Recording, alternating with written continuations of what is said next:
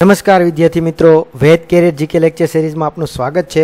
મિત્રો આજે આપણે ગુજરાતી વ્યાકરણમાં તળપદા શબ્દ જોવાના છીએ અને આ તળપદા શબ્દનો ભાગ બે આજે જોવાના છીએ ભાગ એક ઓલરેડી આપણે અપલોડ કરી ચૂક્યા છીએ જો હજી સુધી તમે ના જોયો હોય તો અત્યારે જ તમે પ્લેલિસ્ટમાં જઈને જોઈ શકો છો જો મિત્રો હજી સુધી તમે અમારી ચેનલ સબસ્ક્રાઇબ ના કરી હોય તો અત્યારે સબસ્ક્રાઇબ કરો અને બાજુમાં આવેલા બેલ આઇકોનને પ્રેસ કરો જેથી કરીને જેવી કોઈ નવી માહિતી અપલોડ કરીએ તો તમને નોટિફિકેશન દ્વારા મળી રહે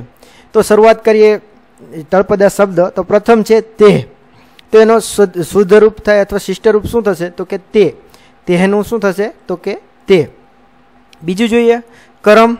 તો એનો શિષ્ટરૂપ થાય કર્મ કર્મનું શું થશે તો કે કર્મ ત્રીજું જોઈએ ભણી ભણીયો તેના આવે ભણ્યો ભણી ભણિયાનો શું આવે તો કે ભણ્યો એનો અર્થ શિષ્ટરૂપ થાય ચોથું જોઈએ પાંગળું તો એનું થાય બે અર્થ થાય છે, અપંગ અથવા પંગુ.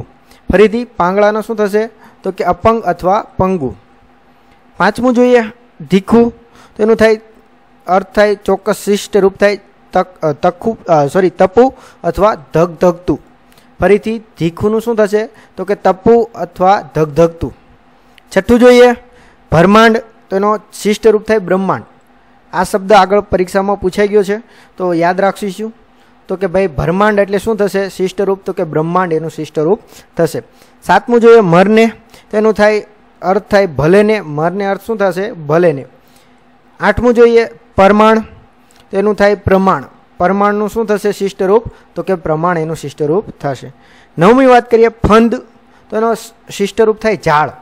ફંદનું શું થશે તો કે ઝાડ એનું શિષ્ટરૂપ થશે દસમી જોઈએ પોર તો એનો શિષ્ટરૂપ થાય પ્રહર પોરનું શું થાય પ્રહર એનું શિષ્ટરૂપ થાય અગિયારમી વાત કરીએ ભગતી તો એનો અર્થ થાય શિષ્ટરૂપ થાય ભક્તિ ભક્તિનો અર્થ શિષ્ટરૂપ શું થશે ભક્તિ બારમી વાત કરીએ સંકલ્પ સંકલ્પ તો એનું શિષ્ટરૂપ થાય સંકલ્પ સંકલ્પનું શું થશે તો કે સંકલ્પ એનું શિષ્ટરૂપ થશે તેરમી વાત કરીએ મેલિયા તો એનો શિષ્ટરૂપ થશે મુક્યા મેલિયાનું શું થશે તો કે મુક્યા એનું શિષ્ટરૂપ થશે ચૌદમું જોઈએ હરખ તો એનું શિષ્ટરૂપ થશે હર્ષ હરખનું શું થશે તો કે હર્ષ એનું શિષ્ટરૂપ થશે પંદરમાં વાત કરીએ વચનું એનું અર્થ શિષ્ટરૂપ થાય વચનનું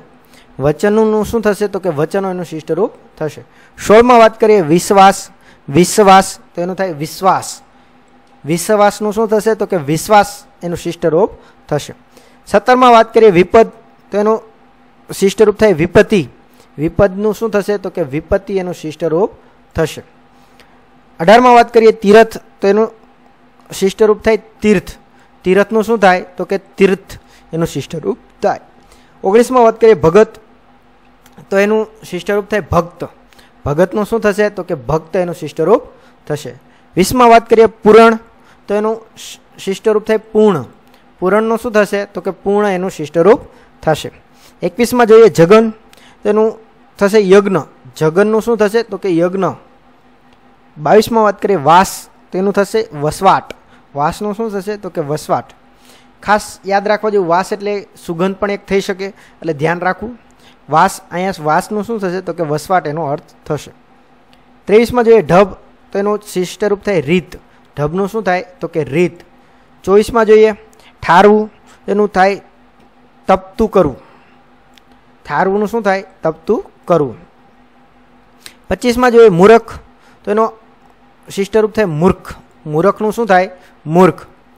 છવ્વીસમાં આણવું તો એનું થાય લાવવું આણવાનું શું થાય લાવવું એનું શિષ્ટરૂપ થાય સત્યાવીસમાં જોઈએ લાધવું તો એનું થાય પ્રાપ્ત થવું લાધવુંનું શું થશે પ્રાપ્ત થવું અઠ્યાવીસમાં જોઈએ જોગી તેનું થાય યોગી જોગીનું શું થશે તો કે યોગી એનું શિષ્ટરૂપ થશે ઓગણત્રીસમાં કને તો એની શિષ્ટરૂપ થશે પાસે ખાસ યાદ રાખજો આગળ પરીક્ષામાં પૂછાઈ ગયું છે ઘણી વખત તો કનેનું શું થશે તો કે પાસે એનું શિષ્ટરૂપ થશે ત્રીસમાં ખાટ તો એનું થાય હિંડોળા ખાટ ખાટનું શું થશે તો કે હિંડોળા ખાટ એકત્રીસમાં રૂડું તો એનું થાય સારું અથવા ઉત્તમ બંને અર્થ થાય સારું અથવા ઉત્તમ કોનું તો કે રૂડું એનું સારું અથવા ઉત્તમ બંને થાય બત્રીસમાં જો એક કાં તો એનું થાય કેમ અથવા કેવી રીતે કાંનું શું થશે તો કે કેમ અથવા કેવી રીતે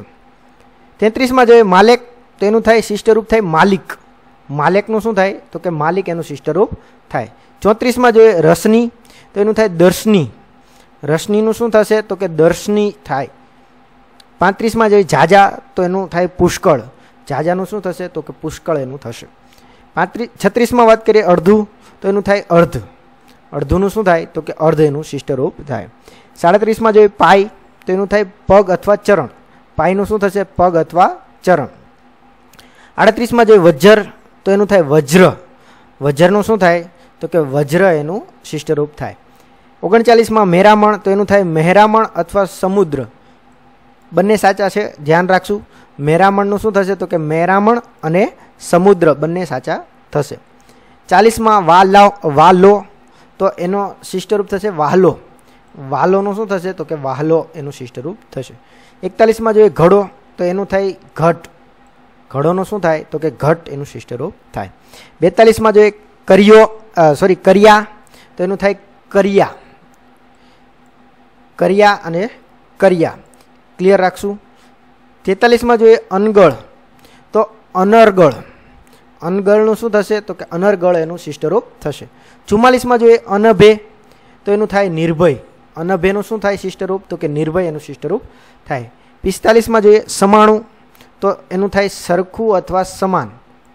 સમાણું એનું શું થાય સરખું અથવા સમાન એનું શિષ્ટરૂપ થાય છેતાલીસમાં જોઈએ રૂવું તો એનું થાય રોમ રૂવુંનું શું થાય તો કે રોમ એનું શિષ્ટરૂપ થાય સુડતાલીસમાં કેજો તો એનું થાય કહેજો કેજોનું શું થશે કહેજો એનું થશે અડતાલીસમાં ગોપીવું તો એનું થાય ગોપી ઓ ગોપી ઉનું શું થશે તો કે ગોપી ઓ ઓગણપચાસમાં જોઈએ રતન તેનું થાય રત્ન રતનનું શું થશે તો કે રત્ન એનું શિષ્ટરૂપ થશે પચાસમાં જોઈએ લક્ષ્મણ તો એનું થાય લક્ષ્મણ લક્ષ્મણનું શું શિષ્ટરૂપ થશે તો કે લક્ષ્મણ તો મિત્રો આ વિડીયોમાં આટલું જ રાખીશું વધારે માહિતી આપણે ભાગ ત્રણમાં લઈશું જય હિન્દ જય ભારત